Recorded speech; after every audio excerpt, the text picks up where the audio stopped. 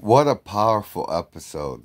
You know that's going to have ramifications, man. You don't kill the Stockton president. Now Marcus Alvarez is going to be pissed. Oh my goodness gracious. It was amazing because Coco and Hope, man, that's going to be the turning point that turns that relationship around because near death experiences and that episode, I will tell you, was straight up rocking.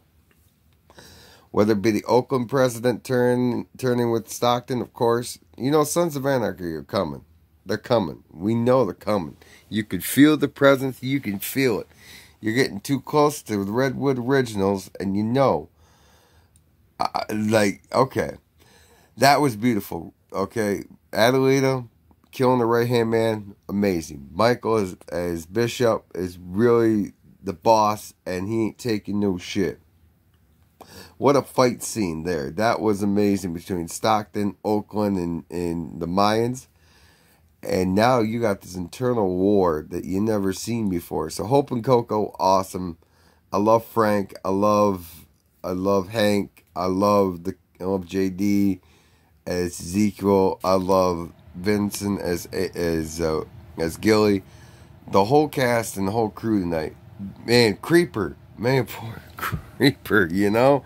You want Joseph, man. You don't want Creeper ending up getting shipped and stocked in jail.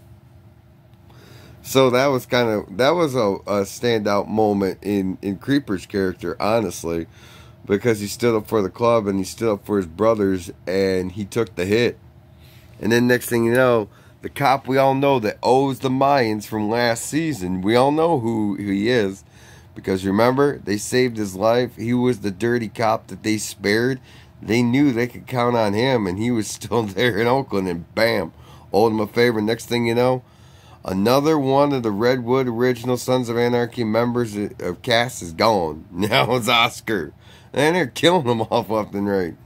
This thing good for Chibs and the rest of the Redwood originals. But what about what an episode all around? Amazing, beautiful.